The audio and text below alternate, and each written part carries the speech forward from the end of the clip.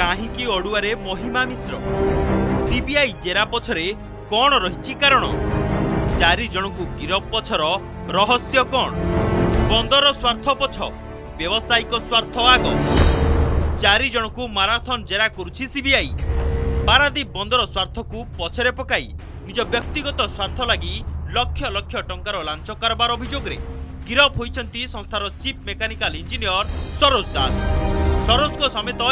ସମ୍ପୃକ୍ତ ଥିବା ଓଡ଼ିଶା ଷ୍ଟିବେଡର୍ସ ଲିମିଟେଡ୍ର ଡିଜିଏମ୍ କମ୍ପାନୀର ଜଣେ ଠିକାଦାର ଓ କେସିଟି ଗ୍ରୁପ୍ ପୋର୍ଟର ଅପରେସନ ମ୍ୟାନେଜର ଶଙ୍ଖ ଶୁଭ୍ର ମିତ୍ର ବି ଗିରଫ ହୋଇଛନ୍ତି।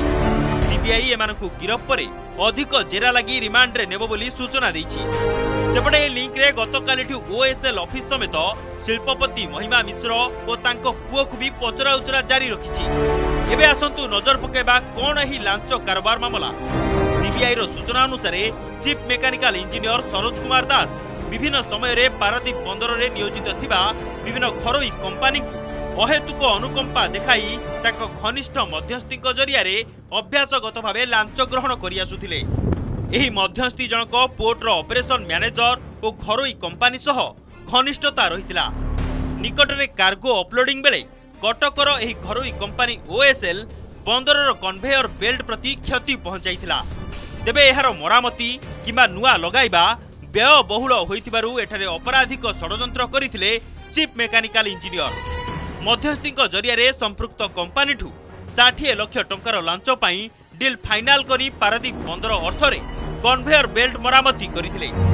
ଫଳରେ ସମ୍ପୃକ୍ତ ଘରୋଇ କମ୍ପାନୀକୁ ବିପୁଳ ଆର୍ଥିକ ଫାଇଦା ମିଳିଥିଲା। ଷାଠିଏ ଲକ୍ଷ ଲାଞ୍ଚ ଟଙ୍କାରୁ ମଧ୍ୟସ୍ଥି କଟକରୁ ପଚିଶ ଲକ୍ଷ ଟଙ୍କା ଗ୍ରହଣ କରିଥିଲେ।